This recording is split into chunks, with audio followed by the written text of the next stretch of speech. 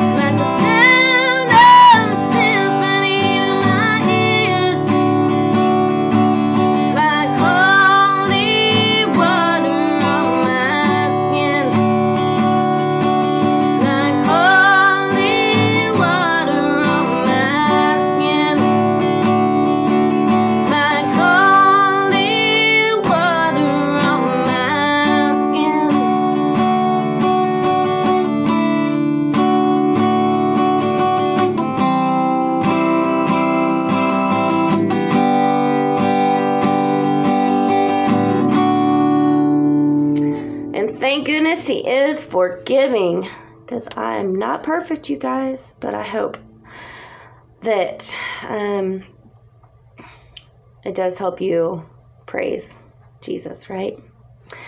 All right.